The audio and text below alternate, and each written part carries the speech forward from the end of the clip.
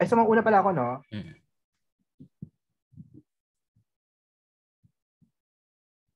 Game na ba at any point? O ikaw. Basta may space bago yung start mo. May silence.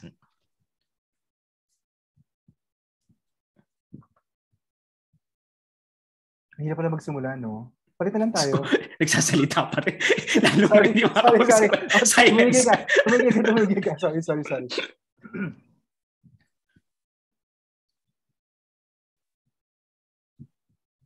Mapagpalayang araw sa inyong lahat. Ako si Glenn Diaz. At ako si Egay Samar at ito ang Anong Kwento Natin? Samahan niyo kami para pag-usapan ng iba't ibang bagay kaugnay ng mga kwentong Pilipino. Kita na nila na nagbabasa talaga tayo. At para sa episode natin ngayon, episode 29, pag-uusapan natin ang ilang bagay na may kinalaman sa hiwaga. Yay! tungkol sa Iwaga. Yay! Ang totoo, nagre-record tayo ngayon, same day, nung episode natin na lumabas ng nakaraang uh, linggo. So, November uh, 21 pa rin ngayon sa atin. Pero siguro ngayon, mga December 13, uh, siguro nila unang mapapakinggan uh, uh, ito. So, pero yung uh, dalawa kong uh, patrons na kasama natin kanina ay naghahapunan na sila. So, wala sila wala ngayon sina Pau at uh, Elaine. Pero salamat sa pagsama nila kanina. So, nakasama natin sila dun sa unang episode. So, kumusta ang 10-minute break natin? Ito, naisip ko ba, shit, gutom na, gutom na mi. Mali ang schedule na. Oh, anyway, go lang. Sige, so, kaya pa? Oo naman, oo naman. Okay lang naman na kumakain ka dyan habang nang-ano tayo. May video lang naman na makikita ng lahat. So, uh, kagaya ng sinabi namin nung uh, nakaraang uh, episode, uh, mapapanood din ninyo sa YouTube channel ko. I-search lang yung Edgar Calabia Samar. Ang episode na ito a day before lumabas sa uh, Spotify or Apple Podcasts. Tapos, uh, yun, uh, kung uh, uh, patron kayo, so sa uh, www.patreon.com slash easysamar, pwede rin kayong uh, sumama sa amin sa live uh, recording na ito. Yun. So ngayon, pinag-uusapan nga natin. So, the second episode tayo ng discussion natin tungkol sa mga agos sa disyerto. So nung nakaraan pinag-usapan natin yung kwento mo si kasettle na natin na Quintin, di ba? Natin mo. Oo, hindi, hindi, hindi na settle. Parang Pilipinas na, na yun.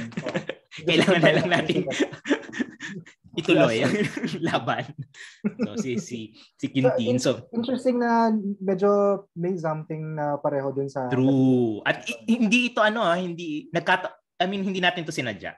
Hmm. Uh, clear na hindi ko sinadya dahil alam mo na nung mapapanood nila ito sa episode 5, uh, sa episode 7, itong series natin tungkol sa sa mga agos sa disyerto, yung naging pagpili natin na nauna nating ni-record. At uh, uh, sinabi ko sa iyo doon na ni-rank ko kasi yung 20 stories uh, na ito para at y- yung pagkatapos kung of course nabasa na kasi natin yung marami sa mga kwento na ito at itong mismong anthology before ano tapos so at least ay second reading para sa atin itong uh, pagbasa sa buong anthology na ito. Kaya pagkatapos ko ng isang story talagang nire-reassess ko yung relation yung yung nagawa niya kumpara comparative ano?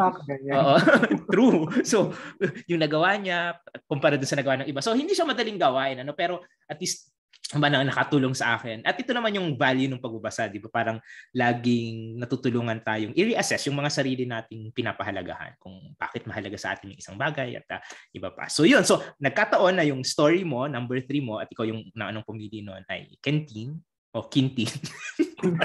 ano ba? si Quintin. At uh, ang ang title ng ng ng kwento ko ay ano din, pangalan ng isang ano? Lalaki. Lalaki. Pwede naman pwede namang pangalan 'to ng babae, 'di ba? Na ngayon. Hmm, May LE ano.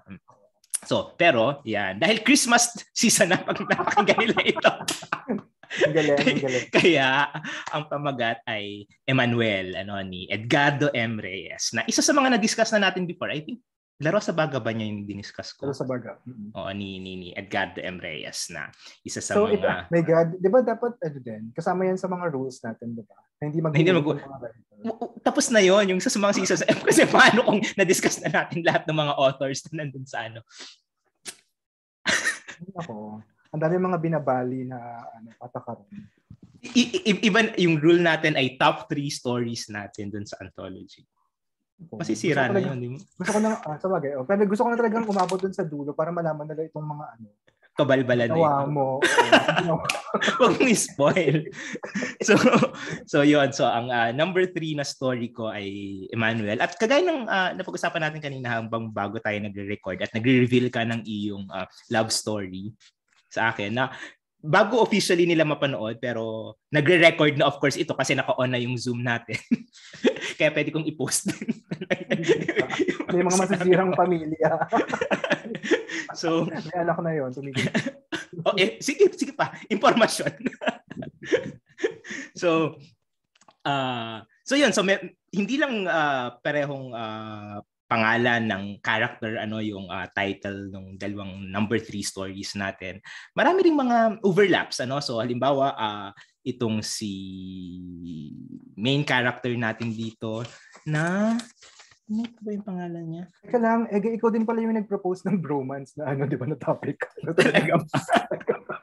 Ay, no, pa may agenda. May, may, gusto, may gusto ko bang palabasin? So, itong uh, itong main character natin dito, yung narrator, dahil first person yung narration din ito ay uh, writer din. 'Di ba kagaya nung uh, ni Ness sa Tintin. So, meron din ganung uh, overlap. Tapos uh, pi- pinili mong paksa nung nakaraan ay bakasyon. Ito ay galing din siya sa bakasyon. Nag-start yung uh, uh, pero ito kumbaga parang continuation. Baka yung main character dito ay si, si Ness. naga pala, naga pala yung San Fernando. Ala, so, okay, okay. So, uh, anyway, so yung main character natin dito ay uh, nagsimula sa nagsimula yung kwento, galing siya sa bakasyon sa Naga. Sabi niya, inimbitahan siya ng isang kaibigan na magbakasyon doon.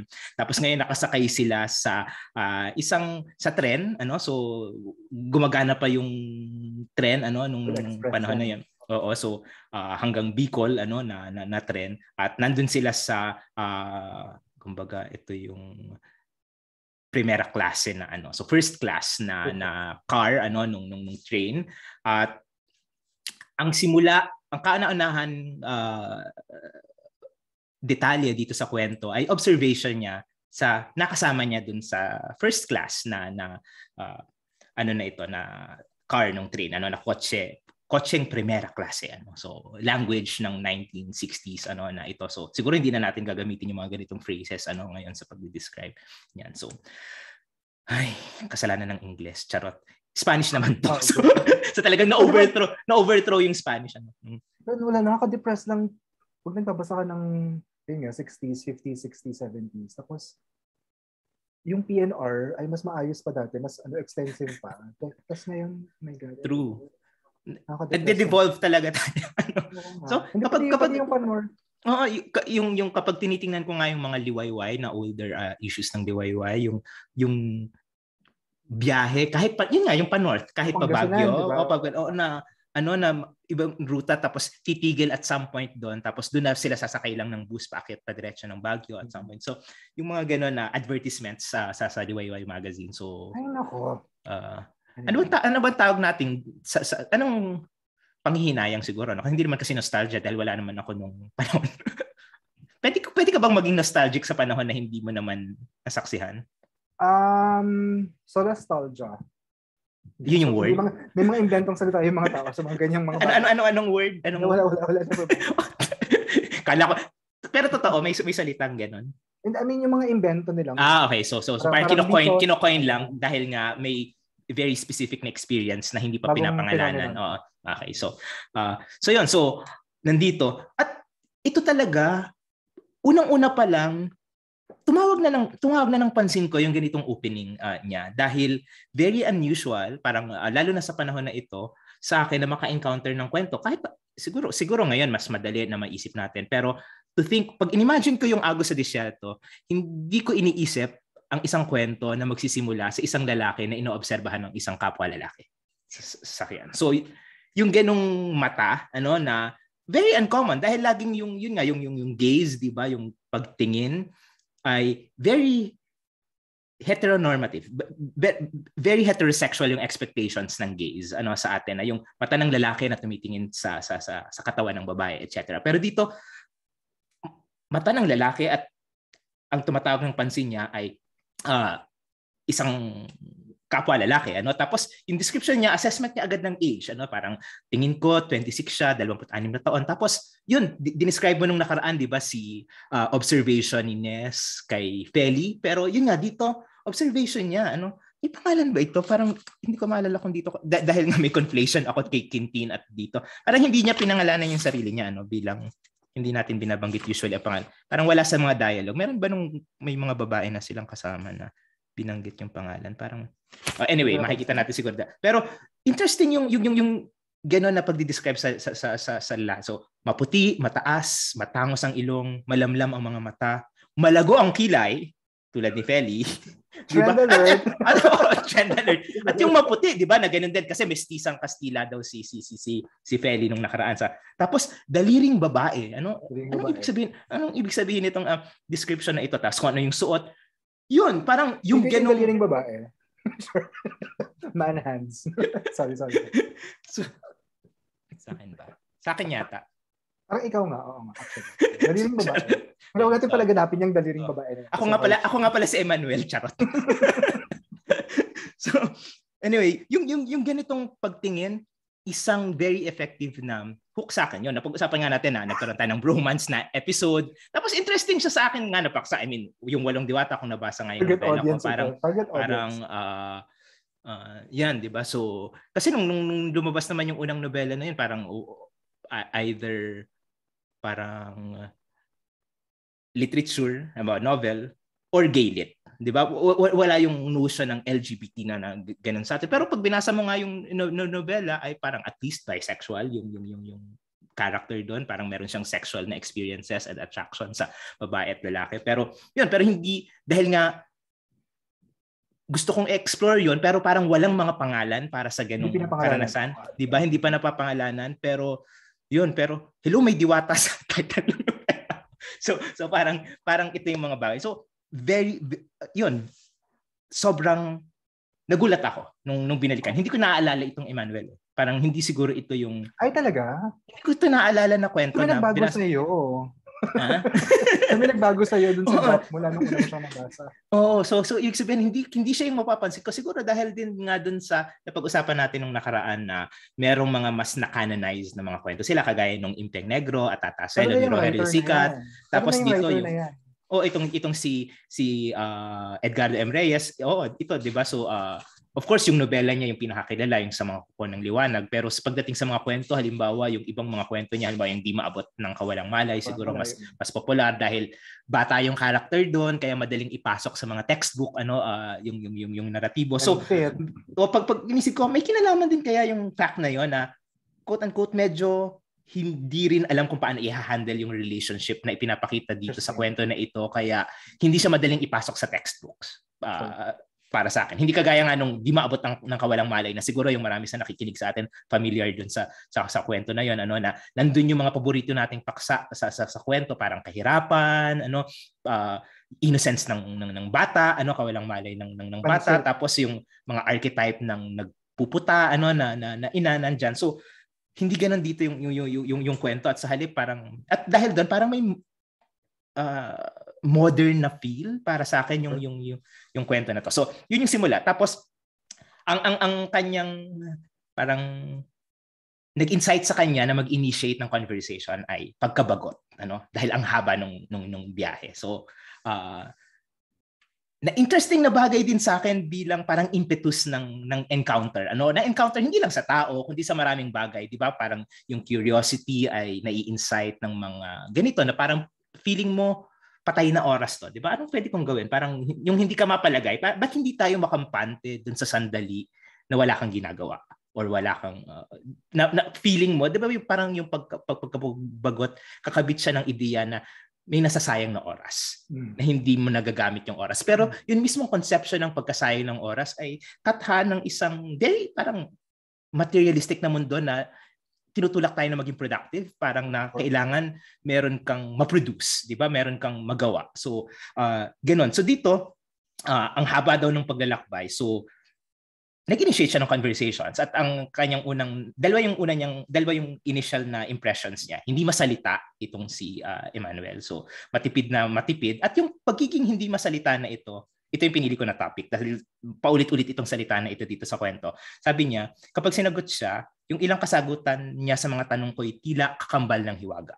So, ang ang unang association niya after ng physical descriptions kay Emmanuel, nung nakausap na niya, ang magi-stick sa kanya na isang abstraction at yung mga abstraction ay assessment, 'di ba ng ng kumbaga isang uri ng distillation natin ng mga bagay para mag-make sense tayo sa napakaraming mga bagay na uwi tayo sa isang uri ng abstraction para 'di ba yung yung mismong pagsasabi na maganda to 'di ba yung maganda ay isang uri ng distillation pero yung distillation na yon ay uh, parang halos ironic na abstraction ng ng maraming bagay na hindi natin uh, talaga mapangalanan ano kaya at, at dito yung yung word niya for Emmanuel ay mahiwaga. May hiwaga ano sa kanya. At yun yung attraction, 'di ba? Parang very attractive yung hiwaga para sa marami sa atin. Parang yung yung yung uh, tiningnan ko yung, yung yung hiwaga ay sinaunang Tagalog pala talaga na salita based sa dictionary. At may tatlo siyang meaning. At gusto kong hindi ko na uulit-ulitin to tatlong meanings na ito, pero gusto kong uh, laging isa isa alang-alang. So, yung kumbaga yung mga gusto kong sabihin dito sa kwento, isa alang-alang tong tatlong meanings nito. Una, anumang mahirap paniwalaan subalit may katotohanan. So, ulit, anumang ulit, sorry, sorry. Anumang mahirap paniwalaan subalit may katotohanan. Yung ikalawa, sanhi ng alinlangan. At yung ikatlo, pagkakaroon ng maraming kahulugan. Ano? So, na parang halos talinghaga, 'di ba yung uh, uh, hiwaga in a sense dun sa sa ikatlo na 'yan. So, pero dahil dito sa sa sa, sa hiwaga na 'to, parang may is, yung hiwaga na 'yon yung isang uri ng parang magnet ano uh, ni narrator kay ng tagapagsalaysay kay uh, Emmanuel. Tapos nung tinanong niya kung kung kung saan ang galing, yun nga, uh, very enigmatic yung mga sagot, di ba? Marami na akong pinanggalingan, etc., etc. Pero yung ikalawa niyang mahalagang realization, so hindi masalita, pero mukhang kayang makipag-usap sa kahit na anong bagay. At napakahalaga nitong ikalawa na ito, at itong dalawa na ito. Sorry. Mukha bang kumain na ako? ano nga tawag natin? Congrats, Dumighay. Congrats. so, itong So yung mukhang mahiwaga on the one hand, tapos yung ikalawa na pwede ko siyang makausap sa kahit anong bagay hindi ba ito yung mga tulay ng relasyon ano uh, na pwede mong katain sa kahit na sinong tao, 'di ba? Kapag parang yung pagtitimpla ng sapat na hiwaga sa isang banda at sapat na connection sa isang banda na meron kayong pwedeng pag-usapan and yet meron ka pa ring misteryoso doon. Parang yun yung magpapahirap para mabitiwan mo ang isang bagay, isang tao. At siyang mangyayari dito sa main character na ito dahil pagkatapos nilang mag-usap nung uh, nakarating na sila sa Maynila nung naghiwalay sila, ibinigay sa kanya yung address oh, ni, ni Emmanuel. So minsan pasyal ka sa bahay. Tapos nahati sa seven parts itong uh, Emmanuel na ito. Yung yung yung ikalawang bahagi, pinag-iisipan niya ano yung pang-akit ano ni uh, Emmanuel kasi nakita lang niya doon parang random na pagkikita binigay yung yung yung yung ano. Pero dahil nga din sa attraction sa hiwaga na ito merong nasa kanya tapos may enough na connection may pwede kami pag-usapan anumang discipline science uh, arts history etc tapos pinuntahan niya yung bahay at ang kanyang uh, re- na-realize na pagpunta niya sa bahay OMG mayaman si Kuya. Ano?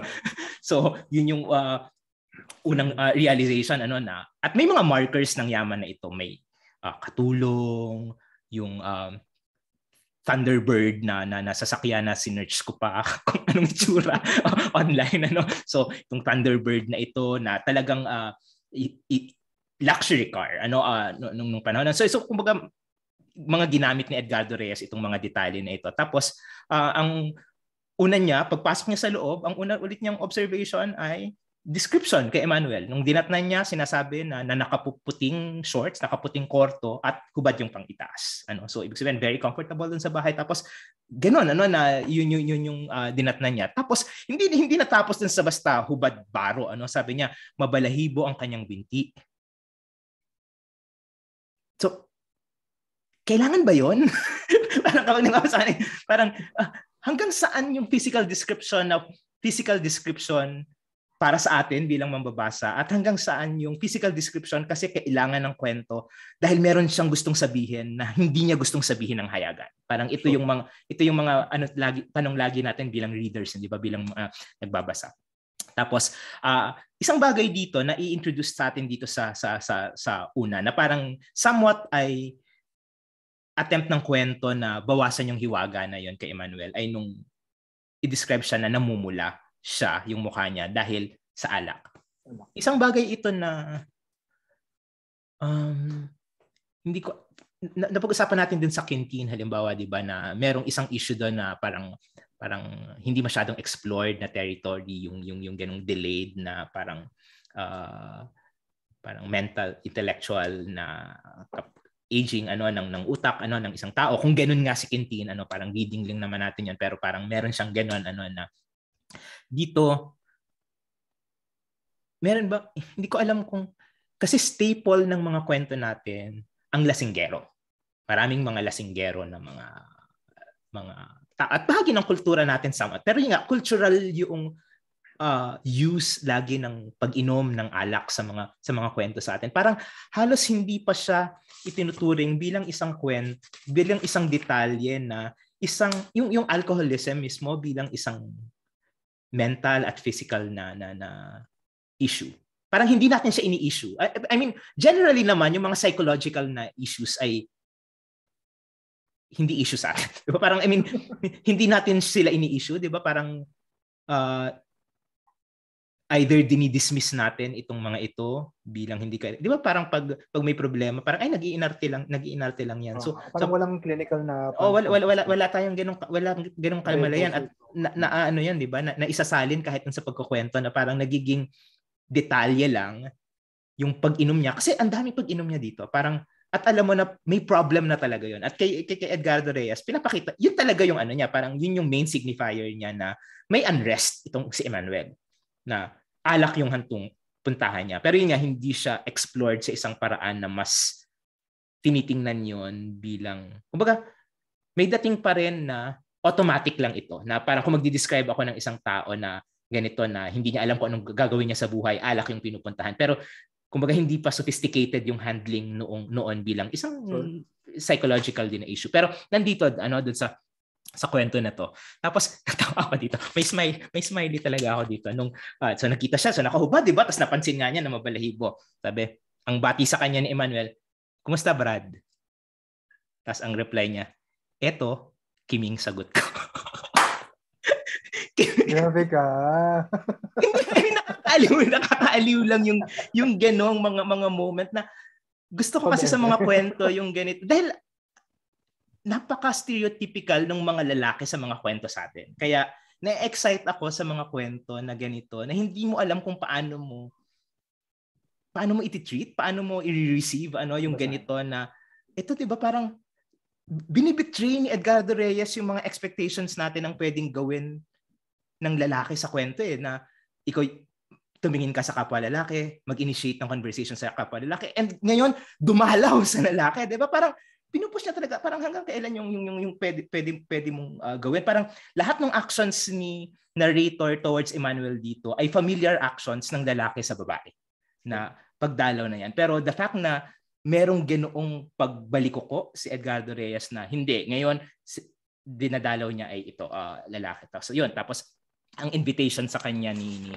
uh, Emmanuel. So inom. So i- inom sila. Tapos kinuwento yung nangyari dun sa pamilya. So, oh, ang yaman niyo pala kung alam ko lang na ganito kayo kayaman, hindi na ako pumunta dito. Ano, so, ay, walang kwenta yan. Ano, so, uh, ako lang nandito sa uh, katulong, ano, sabi niya, uh, yung nung kinuwento niya, sinearch ko to, meron pala talagang, bet ako nakangiti sa, uh, na, meron pa lang meron talagang 1964 na plane crash sa ah, talaga? Rome. Oo, so yung mga ganitong parang historical na detail na alam mo na 'di ba parang kung nagsusulat tayo ah, dahil nasa backdrop lang naman sila, parang ang daling gamitin doon. So parang gusto ko lang banggitin kasi sinabi dito ni Emmanuel na namatay yung mga magulang niya dito nga sa plane accident na ito sa sa sa Rome ano. So again, mga marker lang ni Edgardo Reyes na mayaman talaga ito. Parang 1960s yung makapag-travel ka ano, hindi siya kasi Europe pa. Oo. oh, hindi siya kasi dali sa isang banda. Mahirap pa rin ngayon. I mean, hindi naman siya isang bagay na parang kaya pa rin magawa ng marami. Pero hindi,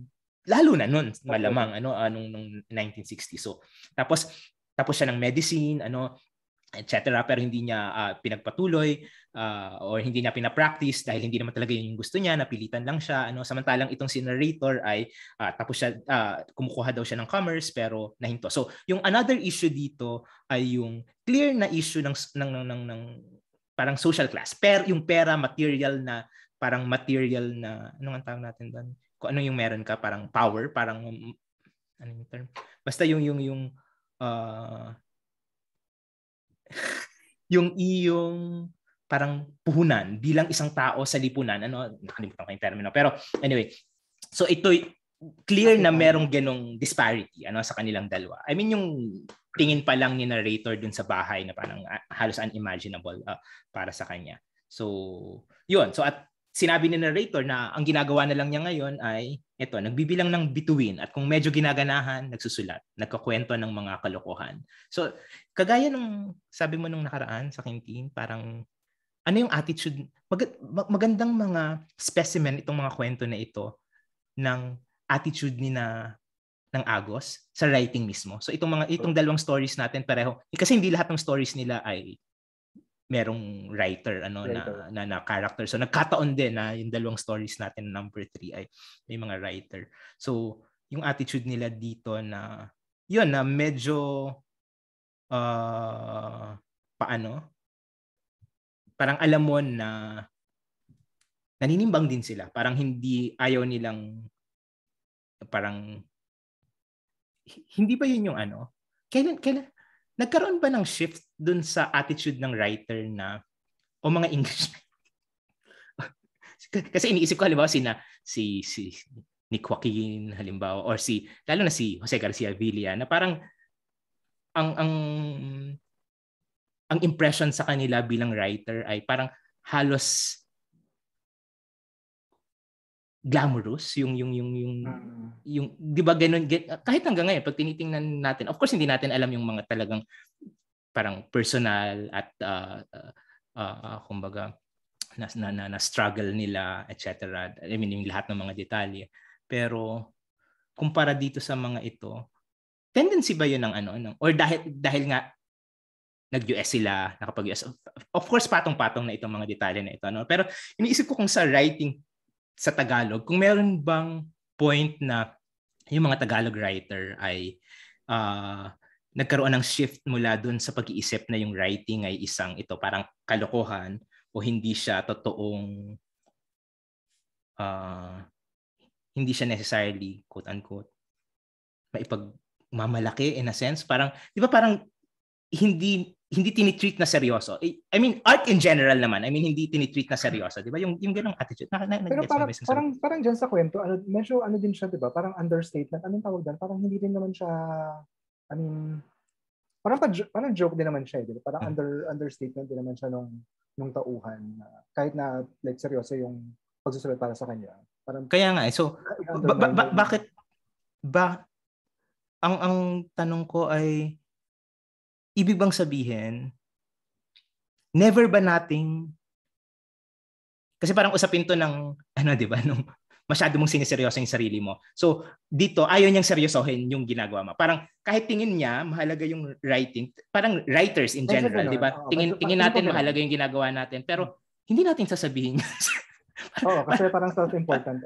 Oo, di ba? So, pero kasi, diba, eh, posible bang maging acceptable yon? Posible bang maging acceptable yon na talagang earnest ka nung hindi mo siya, kasi parang nagiging defensive lagi, di ba, na parang, I mean, seriously, tingin naman natin kahit paano, I mean, hindi ito yung pinakamahalagang bagay sa mundo, pero siguro naman kaya tayo nag-invest ng, or tignan natin may halaga, pero hindi natin yun ipagsisigawan dahil parang weird, di ba? So, Nagigets mo ba yung sinasabi ko? Parang, oh, oh. ano, ano, yung, ano yung nandun sa weirdness na yon sa feeling na yon ng weirdness? Bakit, ba't naging ganun?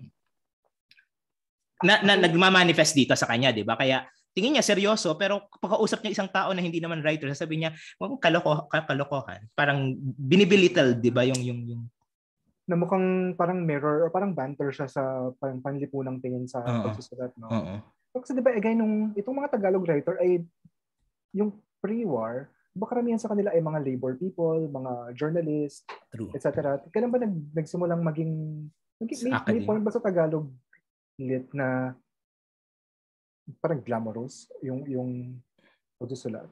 O lagi siya nakakabit sa social movement? Ang, ang, ang hirap sabihin dahil sa isang banda, halimbawa, si Jose Corazon de Jesus ay ay mga Buk- ano, celebrity, celebrity. Oo, celebrity sila eh. So kung titing- titingnan natin yung celeb mas, mas quote unquote glamorous nga nun in a sense dahil walang walang ano eh, 'di ba? So nagtatanghal sila sa teatro, lumalabas din sa pelikula, ano, lumabas din sa pelikula yung iba sa kanila. So so mas mas ganun. So mas siguro mas ano sila noon. So more than parang basta nasa labor or ano dahil nga merong mga nasa art, nag art, artista din mas involved sila sa popular happenings parang or yung mass happenings parang mas nangyayari sa mas maraming tao or mas na-access ng maraming tao kaysa so kaysa sa eventually nangyari na parang naging sector ng lipunan. Sa halip na naging bahagi ng lip ano mo yan parang naging isang kahon parang nag isang room.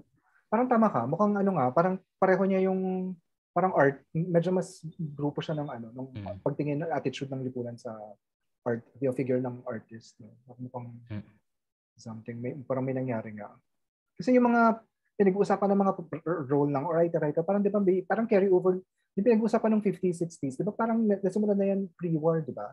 Yung itong like SP Lopez, ano, Villa, hmm. parang 30s pa yan eh. So, ewan ko kung, ang inisip ko, anong connection nitong mga daldalan na to dun sa attitude Asian ng huh. like broader society sa mga writer at mga artist. Actually, hindi ko nga siya napag-iisipan. Kung Maganda nga kaya parang mm-hmm. ngayon ko lang siya pinag-isipan kung I mean liban doon sa pinag-uusapan ng mga mismong writer kung ano ba yung relasyon niya sa mm-hmm. broader society. Interesting. Interesting na ano. Gawa tayo ng anthology ng ano history ng writer as character sa mga Parang nakakainis yun. Parang boring yun. Tayo, tayo, tayo, tayo lang nabasa na, no? para, I mean, para lang it, I mean, kung ganun nga, para, para i-trace, of course, hindi naman natin to gagawin kaya andaling kaya andaling sabihin ano dahil bilang wala tayong time din. so, hindi naman natin so siguro yung mga nakikinig kung interesado sila ano na na, na saka, gawin yan. saka, I'm, I'm pretty sure nung 50s 60s I mean meron na diyan mga self-important writer na True. taga tagapagligtas sila ng ano lipunan o parang ano, so baka ano din may mga individual yung attitude ay may mga individual ano din particularities True. So anyway, so yun. So ganon yung una nilang encounter dun sa bahay. Tapos uh, nung nagpaalam si tagapagsalaysay, sabi lang ni Emmanuel, bumalik ka. Hindi ko alam yung, yung mga ganitong linya na uh, parang may, may, may assertion ng, ng, ng, ng authority doon. Ano? Hindi ko alam yung y- yung mahirap sa akin dito yung tone eh. Paano niya sina kasi ang nakalagay lang bumalik ka, sabi niya. 'Di ba? In itself ay utos siya. 'Di ba na pero depende nga sa tone, request ba siya? Uh, Saka ganyan talaga yung sinasabi, 'di ba? Bumalik kayo. Balik ka. Bumalik kayo. Oh, balik kayo, balik kayo. So pero baka so, yeah, crucial, crucial nga yung tone. Oo. So ano ano yung ano yung tone at tap, tapos sab ang reaction lang niya so tumango siya although hindi siya sigurado kung makakabalik pa nga siya sa bahay na yon. Ano yung yung insistence din sa bahay na parang isang uri ng distance ano sa sa kanya parang alam niya na hindi sila sila pareho. Pero part 3 nagbalik siya. ano at ang dinatnan nga niya walang walang duda babalik oo so talagang babalik, babalik si Puya so parang meron may yun nga magnet ano so yung yung uh, hindi ba ganito yung ano, hindi ano ba yung mga feeling mo hindi mo na uulitin? Mga pero ganyan.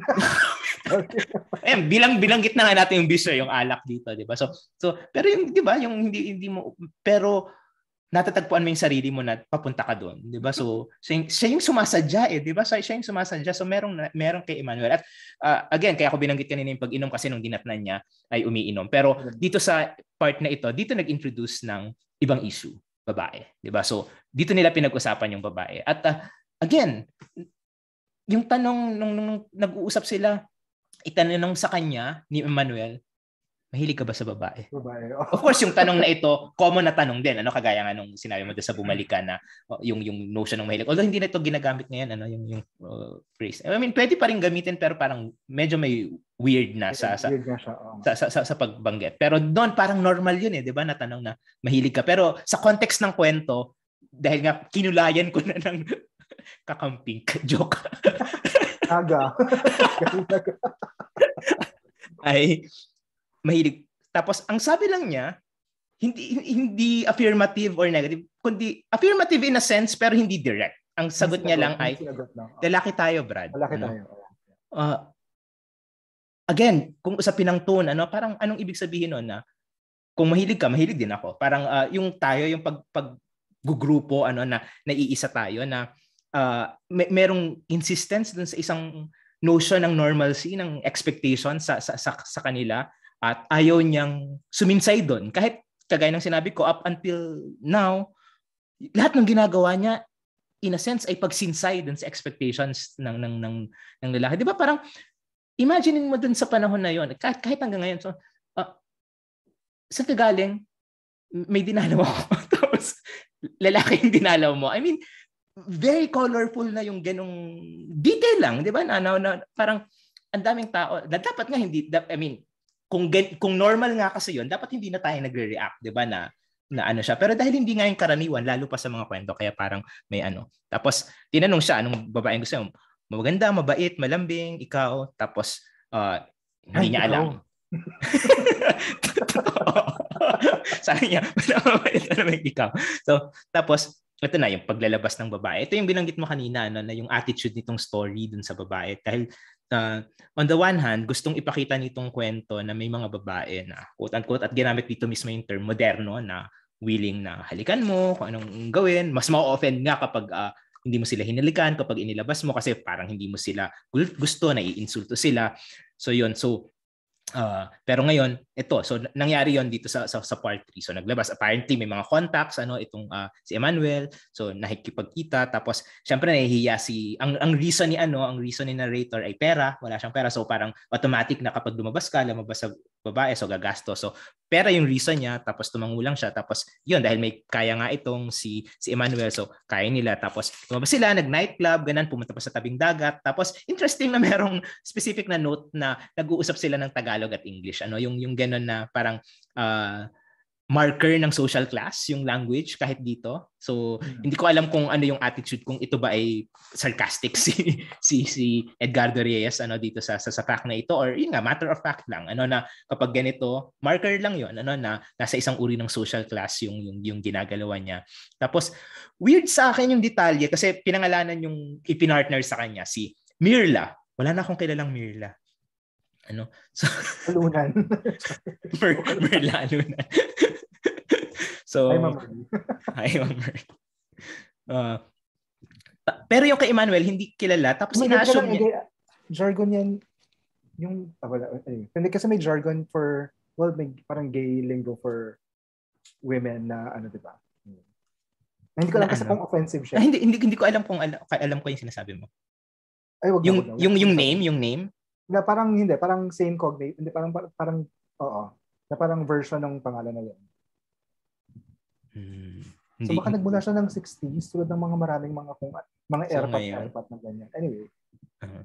Ay ayaw mong sabihin for ano lang naman for educational purpose. Ano, Hindi ko alam. So anyway, so pero yung realization ni ano ni ni, ni Emmanuel na dun sa interaction suppose and reaction realization ni narrator na sa interaction ni Emmanuel at ng babae na kasama to, na nobya pala niya.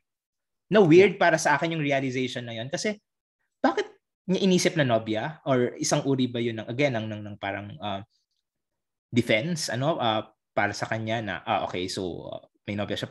Considering na hindi ito nababanggit before or hindi nila na pag-usapan at yun nga laging nasa bahay nag-iinom. Kung hindi pa wala, kung wala pa siya at niyaya so hindi lumabas. So anyway so yun. So, yun yung nangyari. Tapos,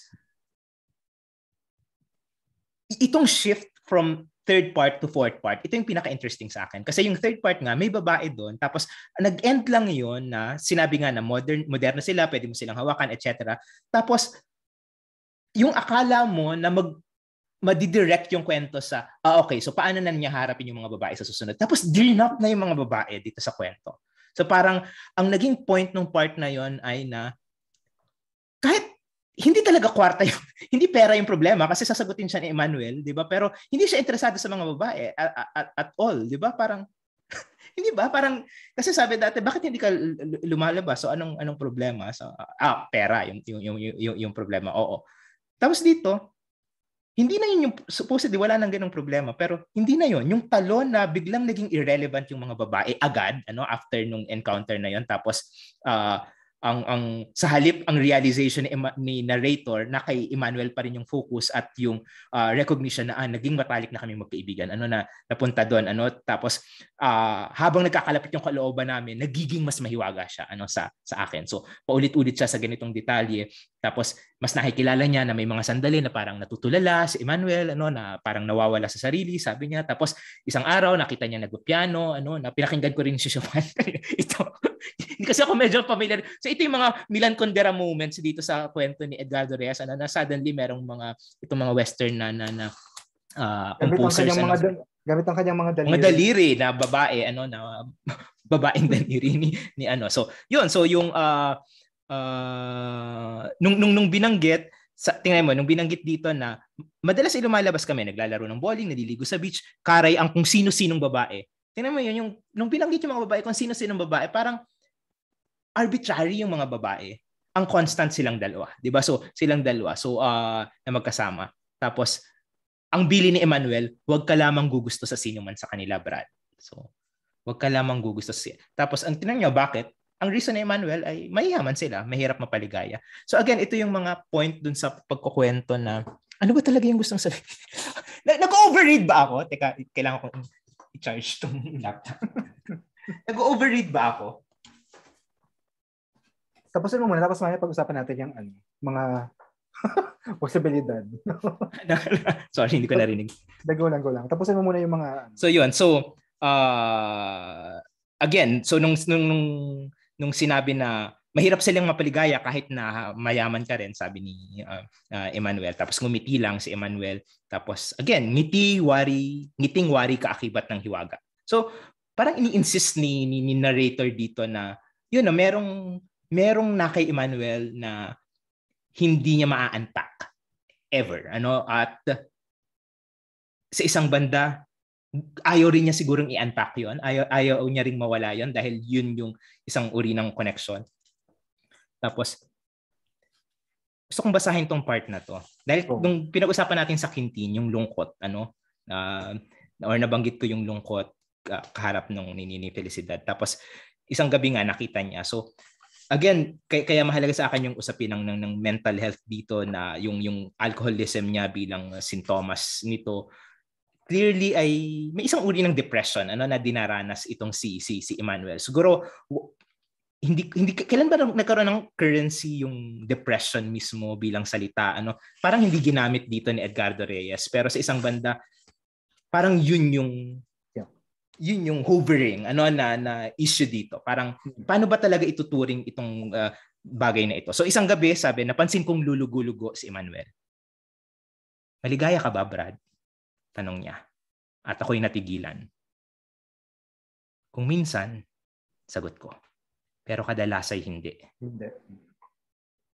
'Di ba? So ito, itong uh, ganitong hayagang pag-uusap tungkol sa kaligayahan na again, kagaya ng hiwaga, kagaya ng distillation natin into abstractions ng mga hindi natin mahawakan. Parang isang bagay ito na yun nga yung ineffable, 'di ba? Yung hindi uh, itong ito kaya kaya ito yung attraction sa atin ng mga kwento, 'di ba? Dahil sinusubok sa ating uh, isiwalat yung hindi naman talaga maisisiwalat ng lubos. Kaya yung yung yung hiwaga rin doon yung yung yung yung charm ng mga mga kwento sa atin. Kahit pa nung sinabi dito na may kinalaman yung pera, alam na natin na hindi yung pera lang ano dito dahil sasagutin din mismo ni Emmanuel ano na uh, buhay niya, 'di ba parang nasa kanya na yung lahat. Nung sinabi ko kanina doon sa simula na isa sa mga kahulugan ng hiwaga ay anumang mahirap paniwalaan subalit may katotohanan. Parang isa doon sa mga yon ay yung yung condition ni Emmanuel na pwedeng nasa yun ang lahat pero hindi ka maligaya. Parang isa yun sa mga enigma ng modernong buhay, 'di ba? Ng buhay ng tao na anong ibig sabihin ng maging maligaya? Clearly hindi ownership ng mga bagay ang susi sa kung ano man yung kaligayahan dahil paulit-ulit ang mga ganitong kwento, 'di ba? Na nasa iyo ang lahat pero may kulang or may nawawala. So ibig sabihin wala sa pagmamay-ari ano yung kaligayahan, hindi ownership ang site, oo, hindi accumulation ng mga bagay, hindi ownership ng mga bagay ang ang lunan ng kaligayahan. Ano? At kung gayon parang all this time naghahanap tayo ng kaligayahan sa mali talagang espasyo or sa maling paraan or ma- maling uh, metodo. So, yun. So, pa- paulit-ulit yung pag- pag-uusap dyan. Tapos, yung mga sunod din ng pagkikita, inom, inom pa rin, ano, tapos hanggang sa finally, yung, yung, yung last two parts, magpapaalam lang si Emmanuel. Sasabihin niya na uh, gusto kong maglakbay. Ano, na, again, kagaya nung uh, unang encounter dito, ano, uh, pero sabi nga ni narrator, hindi ba't nakapaglakbay ka na? Ano na para bang isang singular na event ito ano? Pero sabi ni uh, Emmanuel, iba ito, malamang wala ng balikan. Tapos ang effect nun, nung realization na wala ng balikan, ang inner thought ni, ni narrator, nayanig ako. Ngunit hindi ako nagpahalata. Di ba parang, kapit! Ate, kapit! hindi mo lang sa, hindi mo lang sila binigyan ng ano no, ng moment na maligaya. Wala lang. Oo, so parang ang daming kasi nga parang usapin siya ng yung yung yung ganitong kwento usapin ng parang isang uri ng pagsuko dun sa uh, mundo na may mga hindi ka masasabi parang uh, na hindi may mga hindi ka uh, mapapangalanan kaya yun yung pinag-usapan natin kanina di ba yung last part nito yung brief last part yung opening sentence niya ano na ay kung ako'y babae marahil Dito na pag-usapan yan. Hindi na pag-usapan natin. Ah, oh, bago mag-record. Oh, bago mag-record, di ba kanina? Kung ako'y babae, marahil ay iniyakan ko ang paghiwalay namin ni Emmanuel. So, ibig sabihin, hindi pa rin siya umiyak. Pero yung idea na, yung, yung, yung hiwaga rito, yung, yung, yung source ng alinlangan, ay na ibig sabihin ay kasarian lang niya ang pumipigil sa kanya. Yung recognition na lalaki ako, kaya hindi ako iiyak. Pero kung maatatanggal yung kasarian sa equation, alam niya na moment ito para umiyak. 'Di ba? So yung kung bilang tao lang, no? Oo, 'di ba yung yung yung yung pressure ng gender, ano? Sure. Yung yung pressure ng gender na nandito na nadama mo na ba ito sa buhay mo? Never. never. Never ka nagkaroon. Never mong naisip na kung babae Hindi ako makarelate sa kwentong ito. Tumigil ka. Wala kang Emmanuel. so, so yun, yung, yung, I, I mean, uh, very telling yung yung yung ano na yan na, na dito ay ang daming ganitong mga mga halos hindi na nga kubli ano na ano na, na bagay tapos syempre uh, pigil na pigil yung yung contact nila ano uh, dito so nagkamay sila ng mahigpit ano tapos tinapik lang sa balikat yung alam mo yun yung yung mismong contact ng katawan ang kawalan ng contact parang uh, nararamdaman mo dun sa mismong pagkakamay nila, dun sa mismong pagtapik na may hindi sapat. 'Di ba na or ako ba nagmi-misread nag nag ano no, nag-overread ba ako? 'Di ba na parang uh, or inilalagay mo doon sa contact yung lahat ng oo, mga hindi pwedeng contact. Oo, so parang yun yun, yun na ito parang mo doon. Kumbaga parang so kumbaga dambuhala yung energy pero kailangan mong isilid yung dambuhalang energy na ito dito sa isang probable container na hawak ng kamay, tapik ng balikat, 'di ba? So, ginagamit 'yan 'di ba? Yung pagka, pinapagkasya sa mm. ganyan. Kaya 'di ba? So, so, so literal siya. Gra- oo, g- kaya grabe yung ano, yung alam mo kung gaano ka hirap ng tapik na 'yon. Na yun lang yung pwede niyang gawin. Tapikin ka sa balikat, kamayan ka. Tapos ang realization niya sa dulo nung sumakay ng eroplano si Emmanuel.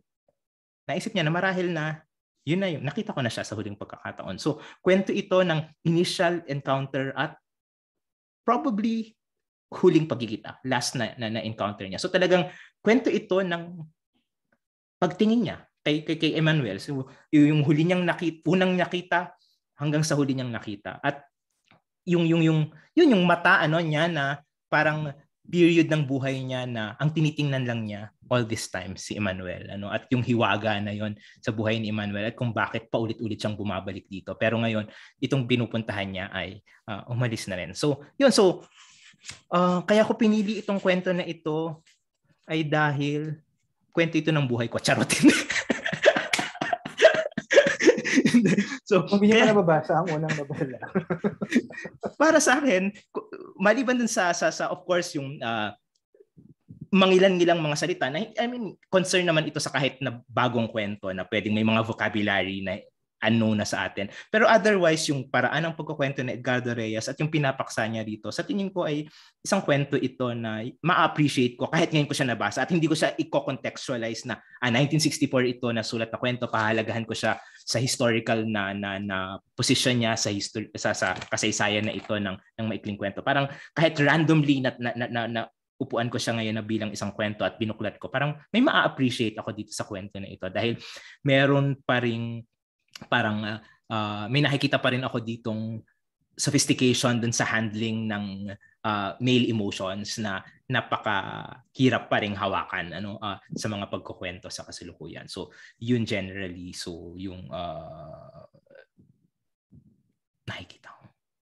Interested ako Ege kung nabanggit mo ito ng slide. Parang interested ako kung gaano kalaking gaano kalaki yung papel ng uri o ng class o yung difference sa class ng mga ng dalawang to dun sa ano sa pantasya no? Um syempre may, may class element lagi naman yung hmm. yung pantasya no? Pero parang dito kasi may um wala. Parang minsan nag ano sila nag join yung dalawang nag, may conflation.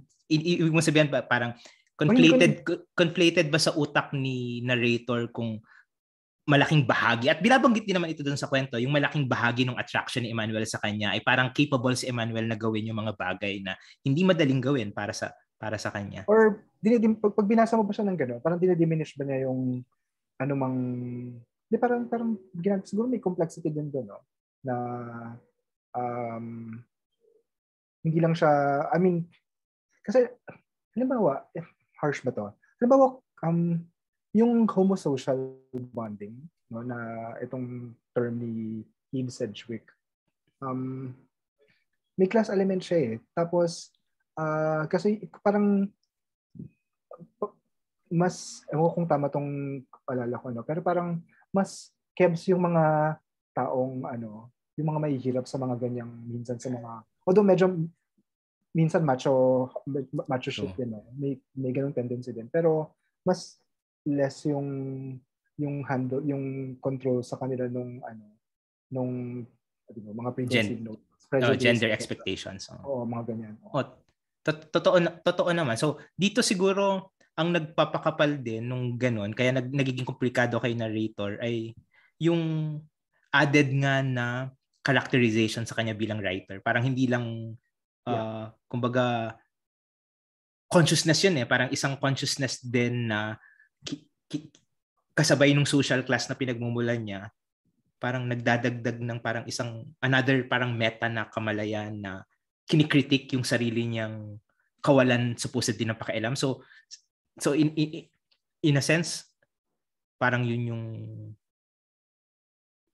in, parang hindi siguro uh, magandang uh, analogy ano pero parang yun yung parang yun yung fruit of ano niya ano na the, the fact na yung yung otherwise ay parang paradise na tingin oh. sa possibilities ng relationships etc dahil the fact na nag-isip siyang magsulat so kailangan niyang lumabas dun sa paraiso na yon at makita na hindi perpekto yung mga kondisyon so yun masaya masaya ng kwento ang kaya din kaya ko may kaya hindi ko rin ma ma-let go yung class class. Kasi naalala ko yung Great Gatsby. Para siyang Great Gatsby almost. Yung, yung may narrator tapos may, di ba, may tinitignan na, may tinutunghayan, pero may tinutunghayan na, ano, na mayaman. Tapos may, oh. ano, so may ganong, may ganong element siya ng curiosity sa buhay. True. Naka, hindi mo na alam kung yung, yung kailan nag-overstep into Uh-uh. Yung curiosity, wonder, tapos desire or yung, uh-uh.